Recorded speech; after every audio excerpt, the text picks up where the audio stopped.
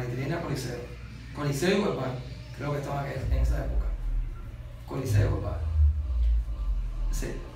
¿Dónde es que ya se da tu emancipación? ¿Dónde es que tú logras tu independencia? Porque todo el mundo que ve videos de la época o que estaba acá Sí. sabe que tú constantemente, pues entonces formabas parte de todo lo que eran los mismos shows que producía y, y- y hacía Maritrini. Sí. Entonces, o sea, ¿cómo tú te independizas? ¿Por qué es que te independizas?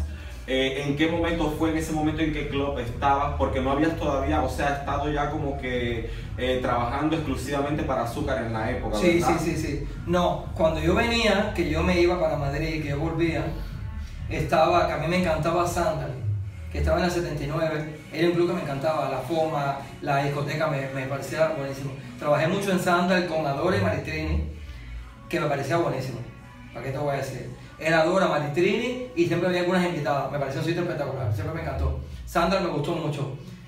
Azúcar también me gustaba mucho, pero siempre me pareció como más fuerte. Sander era como más suave. Trabajé mucho también en discotecas, porque hubo una época cuando, se, cuando Metrini se va de azúcar, que Milancita le deja la discoteca, lo que era Meca o discoteca. Sí. Uno de los salones para hacer show ahí los sábados. Y también ahí hice show Igual Park, que estaba los viernes. Pero la historia es muy sencilla. Yo recuerdo el último viaje que yo hice aquí, Vega, Vegación, me hice un día en el camerino de Coliseo, tal cual estamos tú y yo. ¿Qué tú necesitas para quedarte a vivir aquí? Y yo le dije, porque hagan un contrato, que me pagues 4 mil pesos, no me acuerdo. Pero me acuerdo que le dije que hagas un contrato, seguramente le habría dicho que me pagues 4 mil pesos, creo recordar, y le dije, vaya, no tengo tanto dinero para volver dentro de... Porque yo quería que viniera el otro mes. Yo no tengo tanto dinero como para volver al otro mes.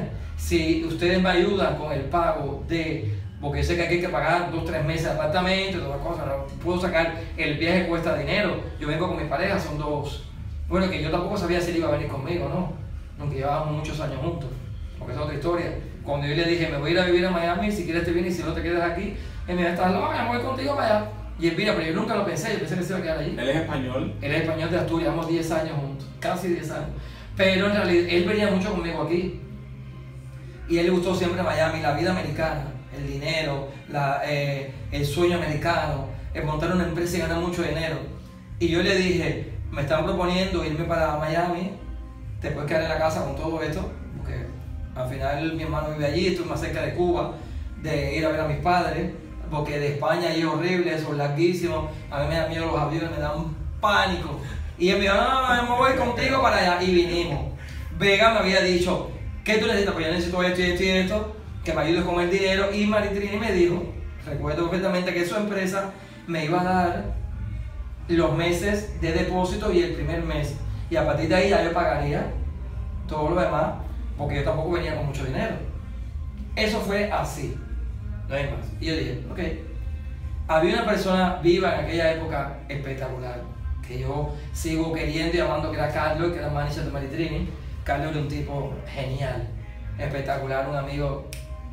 De hecho, yo siempre digo que si Carlos estuviera vivo, él nunca hubiera permitido que yo hubiera dejado Maritrini.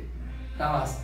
Y yo vine para aquí porque Carlos fue que me dijo, vente, ven para aquí, ven para acá. Por favor, no deja a tu amiga sola, ven. Y tanto entre mi hermano y Carlos, porque yo no hablaba mucho con Maritrini por teléfono, nunca hablaba con Carlos. Yo me decidí a venir para acá. Y porque bueno, allá a España eran 15 años. En fin, vamos para Miami. Vinimos. ¿Qué pasó? Yo estuve seis meses. Yo vine el 4 de septiembre, que era mi cumpleaños, entramos el 4 de septiembre. Y duré creo que seis meses trabajando con Alex, no más. Porque las cosas no fueron como se dijeron. Es decir, yo empecé con él, pero nunca las cosas sucedieron como me ofrecieron. Y yo realmente, la gente no lo sabe, la gente cree que yo un día me fui y lo dejé ya. No, no fue así. Los últimos meses, y él lo sabe, nosotros tuvimos muy poca comunicación. Yo iba a hacer mi show y me iba. Iba a hacer mi show y me iba.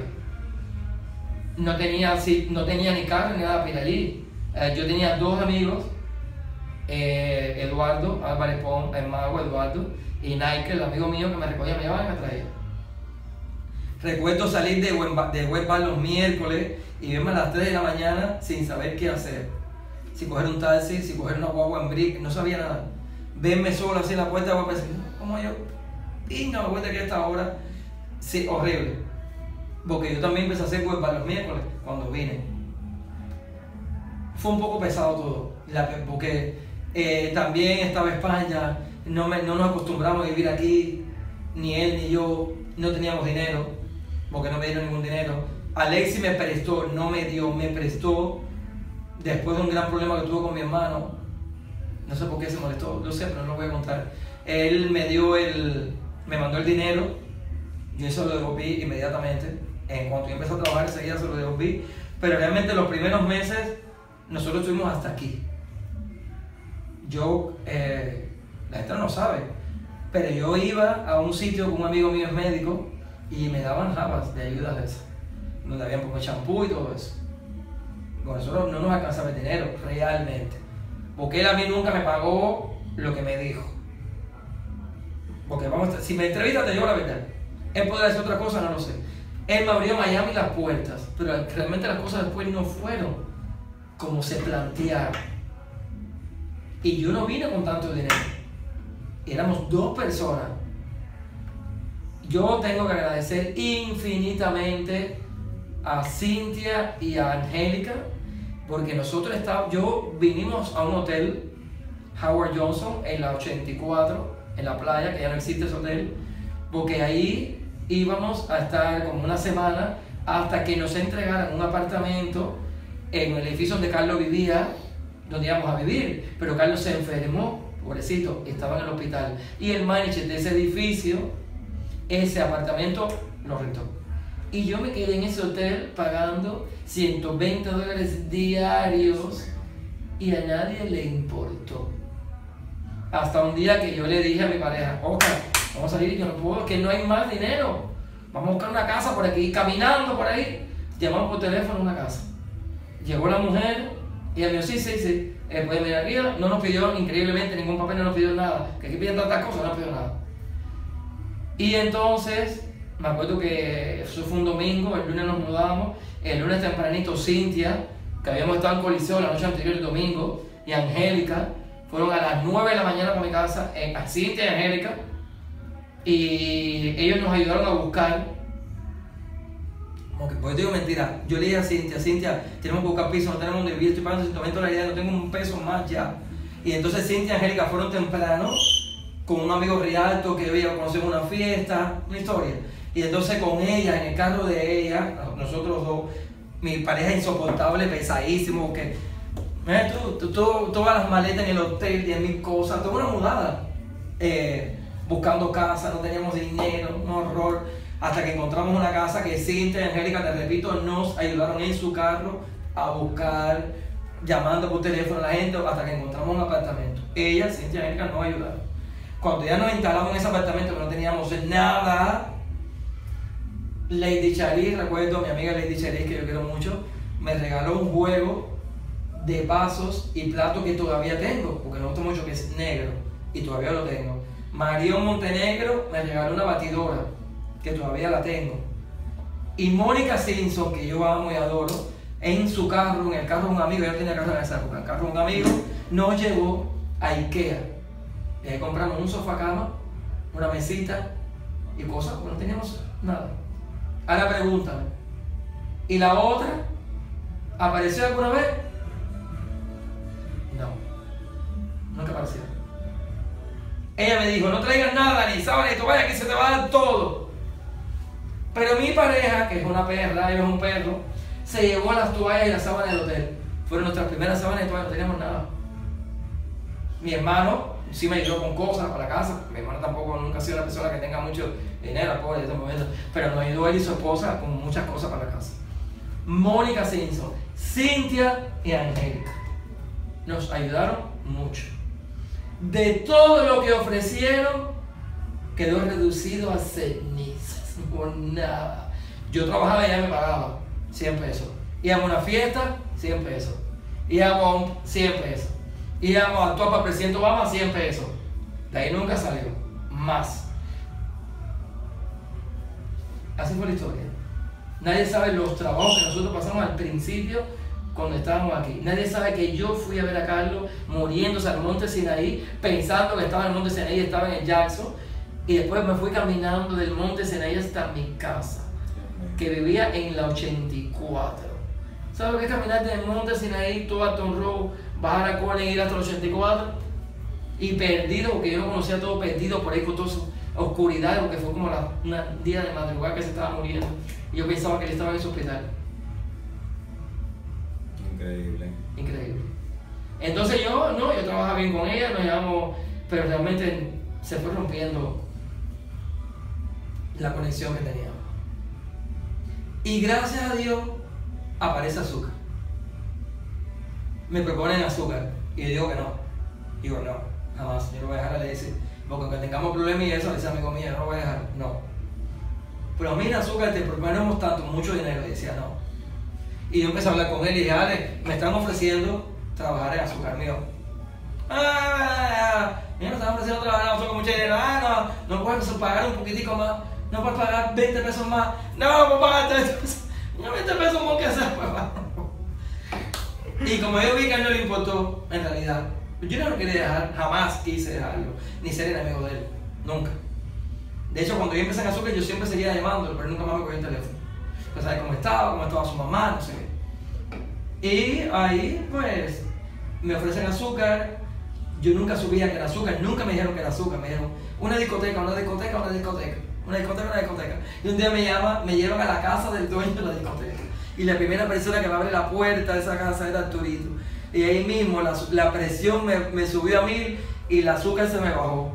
Y yo le dije a Odali Alfaro, que fue quien me llevó, mi ex amiga que ahora me debe 3.200 dólares y nunca me lo pagó, le dije, niña, me engañaste, me viste que era azúcar, yo no puedo trabajar en azúcar.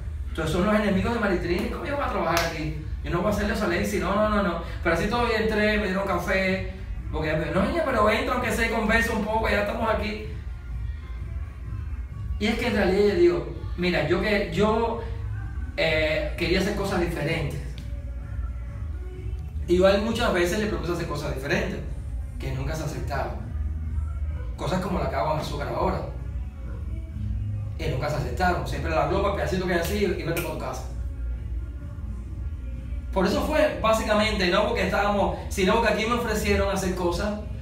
Porque yo recuerdo que yo le dije, oye, mira, yo quiero hacer esto, quiero hacer esto, quiero hacer esto. Me gustaría tanto. Y me dijeron, nosotros, hazlo en azúcar. Sí, lo puedo hacer, pero van a necesitar un director artístico porque yo solo no puedo. Ah, yo te pongo un director artístico. Y hay bailarines, yo te busco bailarines. Y Dios mío, y ni así yo quería dejar a Alex. Pero dije, mira, un día, casi el último día volví a amarlo, ¿vale? Mira, es que tengo cosas buenas ahí, me probé. No te importa, yo no quiero irme, te quiero dejar. Ay, a mí no me importa nada, ok. Bye, pum. Ya me lo dije que mira, sí, voy a ir con azúcar. Porque al final, ¿qué iba a perder? Yo sabía que aquí no venía gente, que venía muy poca gente. Pero dije, mira, es un riesgo. Porque al final yo estoy allí incómodo, estábamos mal trabajando juntos. Era como el momento como de separarse, estábamos incómodos, estaba incómodo allá, incómodo. Coliseo era un sitio muy grande para mí, a mí no me gustaba. Me gustaba más Webbar, Sandra, que era discoteca más chiquita, incluso Azúcar. Coliseo es un sitio tan grande que a mí siempre se me perdía. Eh, había que hacer show ahí arriba y a mí me daba vértigo, a mí la altura me daba vértigo, entonces yo tenía que bajar y él siempre me regañaba porque hacía show abajo y yo había que hacerlo arriba. Y es que yo no podía hacer show ahí arriba, me daba un vértigo horrible, me, me moría, no podía, terminaba haciendo el show abajo y eso molestaba. Por todas esas cosas fue que yo vine por aquí. Pero en realidad nunca hubo una gran discusión, nunca una una gran... Fue así. Y entonces me imagino que ahí es donde comienza la gran odisea. Yo creo que esa ha sido, eh, sin duda alguna, quizás una de las labores que más te ha costado y fue quizás hacer de azúcar el éxito que es hoy. Porque seamos realistas, antes de tú venir para acá, honestamente, este lugar estaba muerto. Y entonces, ya una vez que tú vienes para acá, que empiezas a trabajar, que expones tus ideas, que se pone pues más un poco como que a visualizar todo lo que tú querías hacer y se hace ya tangible, es cuando entonces el público comienza a responder y comienza a acudir hasta que, bueno, gracias a Dios hoy tenemos lo que todo el mundo sabe que sucede aquí y es la magia de llenar la casa y de que la gente venga a disfrutar del show. Pero ¿de verdad te fue difícil lograrlo? ¿Pasaste trabajo para hacer de azúcar lo que es hoy? Mira, mucha gente dice que yo vine para azúcar porque me pagaban 50 pesos más. No fue así. A mí se tomó un contrato espectacular en azúcar. De hecho, era tanto el dinero que me ofrecieron que yo le dije a la dueña, tú estás pensando a los dueños que yo voy a levantar azúcar. Y yo no creo que yo vaya a levantar azúcar. Y de verdad lo pensaba. Y lo pienso, así yo pienso que azúcar se levantó. Porque sí, es verdad, al principio yo empecé con la comedia y todo eso. Pero es que yo no sé, yo nunca pensé, ni nadie lo pensó, de que este sitio fuera a funcionar así por mí, porque la globo. Además, yo le dije a los dueños, mira, tú me estás ofreciendo una cantidad de dinero porque tú crees que yo te voy a ganar tu discoteca. Vamos a ser justos, yo no creo que te voy a ganar tu discoteca. Azúcar está muerta. Aunque yo había venido un domingo a ver el show aquí, y a mí me había parecido buenísimo el show. Me acuerdo que estaban de invitada Rachel Brown y, perdón, y Solange. Y a mí me pareció buenísimo. Que yo dije, el show de aquí, para mí, es mejor que el show de Coliseo. No entiendo por qué la gente no viene aquí. Es mejor este show que está allí. La gente no venía aquí, pero para mí el show de aquí, que yo vi esa noche, era mejor que el show de allá. Era más coherente. Marie estuvo muy divertida. Me acuerdo que estuvo Rachel, Solange, Teresita, Poison y Helen Swan y sus números. Me pareció buenísimo el show. Y yo le dije a los dueños, ustedes me están ofreciendo mucho dinero porque piensan que yo voy a levantar el sitio, yo no lo creo.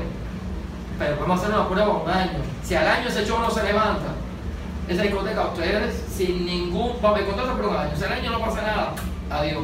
Porque a mí no me gusta trabajar en un sitio donde yo voy a estar ganando una cantidad de dinero porque no haya nadie ahí. Yo no voy a hacer eso. No, puedo hacer eso. Esto es una prueba que vamos a hacer. Si esto no se levanta, al año terminamos, tan bien como siempre. No voy a estar trabajando con tres personas ganando dinero, ni 100 pesos. No lo voy a hacer, porque a mí no me gusta ganar dinero. No lo puedo hacer. Si es que a veces yo he hecho funciones en la Globo o otras funciones en otros sitios y me ha salido mal y yo no, ni he cobrado me pago, porque yo fue un horror, no, ni me pagues. No puedo, porque me siento como un timador, no puedo. Pero en realidad yo no sé qué fue lo que funcionó. Yo sé que a la gente le gusta la comedia, pero María estaba haciendo aquí, era muy divertida su comedia. Eh, el día que yo inauguré Azúcar, 5 de julio, aquí entraron más de 600 personas.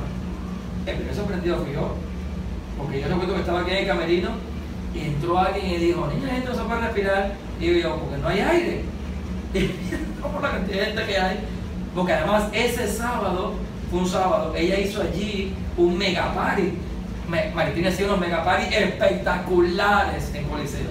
Porque a César lo que es del César. Para preparar una gran fiesta, búscala a ella. Ella hacía unos mega party espectaculares. Y, ella, y tuvo mucha gente allí. Yo sé que hubo mucha gente allí, pero aquí también. Y, y, y, y, yo no sé si funcionó, porque yo siempre tuve la idea de los openings. Yo lo que tenía claro, yo no quería hacer ni la Pandora, ni hacer sketch, ni yo quería hacer algo fácil, yo quería hacer cosas musicales. A mí me gusta el teatro musical, yo conozco Cabaret, Arturo Solane, eh, Cats. Yo vengo del teatro musical, yo quería hacer eso aquí. Y es lo que yo quería hacer. Contratamos a Chanaya, que era muy buena, y, empezamos a hacer esas cosas. Y yo creo que, no sé si es que la gente, poco cree que se levantó un día para otro, ¿eh? Fue mucho tiempo, de mucho trabajo. Yo creo que fue después un proceso de todo un poco. Que a la gente le fue gustando como el formato de lo que hacía aquí. Azúcar es una discoteca espectacular que tiene muy buen ambiente, muy acogedora, es muy para hacer mi trabajo. Porque yo soy muy de la gente, ahí de tenerlo arriba de mí. Coliseo era muy grande, entonces yo creo que todo eso a la gente le fue gustando. Pero a día de hoy, después de tres años, que el 5 de julio voy a hacer cuatro, cuatro años ya, el mes que viene, sigue siendo difícil, no vaya a pensar. Sigue siendo un trabajo difícil, porque yo tenía los sábados llenos y cuando ella abrió Bailo, que es una discoteca espectacular, yo nunca he ido, pero he visto los videos, la gente prefirió ir ahí a bailar. Aunque yo tengo gente aquí también, pero no tengo tanta cantidad como tengo un viernes o un domingo. Pero bueno, es una discoteca que tiene cuatro días abiertos. No uno ni dos, cuatro días abiertos. Casi ninguna discoteca funciona cuatro días abiertos. Así que tampoco nos podemos quejar. Pero a día de hoy sigue siendo un trabajo muy difícil, muy difícil. Hemos pasado por etapas difíciles, hemos pasado, hemos tenido muchos coreógrafos muy buenos, diferentes. Yo he prácticamente aprendido de todos Me ha encantado el trabajo que he hecho con todo. Me ha encantado bailar con todo. Siempre le digo a los coreógrafos, si yo pudiera bailar mejor o si yo tuviera más tiempo para preparar lo que hacemos, fuera todavía más espectacular. Porque sé que soy un cangrejo. Yo puedo bailar como bailan mis bailarines, remotamente. Siempre digo, si tuviéramos más tiempo o si, o si pudiéramos repetir los jóvenes, fuera todavía más espectacular. Pero bueno, como política nunca repetimos. Intentamos siempre hacer, hemos repetido muy poco. Siempre intentamos hacer los nuevos, porque además a la misma gente le gusta que se repita. Pero a día de hoy sigue siendo un trabajo dificilísimo. Es decir, mm, difícil. Es decir, tener esta discoteca aquí es un trabajo difícil. Tienes que jugar con muchos factores. Es, es un trabajo de un estrés que no te puedes imaginar. La gente cree que esto, ¡ah! No, no, no, es un trabajo muy duro. Muy duro porque hay muchas cosas. Yo estoy al tanto de todo. Desde la gente que entra, cuánto se vende, las artistas, la música, irlas conjugando, una del pala que baila, con una de balada, con una que no sé qué, con una no sé, conjugar es muy difícil y no siempre puedes quedar bien con todo el mundo. Todo el mundo sabe que mucha gente está bravo, muchas chicas se han puesto bravas conmigo. Yo, yo sé que eh, cuando tú tienes una discoteca, y Maritrini lo sabe, es dificilísimo poder quedar bien con todo el mundo. Es, es difícil, no puede. Porque si tú, yo te invito hoy a actuar, hoy sábado, y tú me llegas a las dos y media, me llegaste a las dos y media, el show es a las dos. Ay, no vengo a trabajar contigo en una mesa. Y se va. Pero es que mi trabajo es decirte, mami, tú tienes que estar aquí a las dos y media. Porque la música hay que entregarla, porque tú tienes que estar lista. Entonces es un trabajo complicado y a día de hoy lo sigue siendo, es muy difícil. Es un trabajo complicado. Yo nunca pensé que fuera un trabajo que yo creo que si lo hubiera pensado hace cuatro años atrás que lo hubiera hecho Te juro.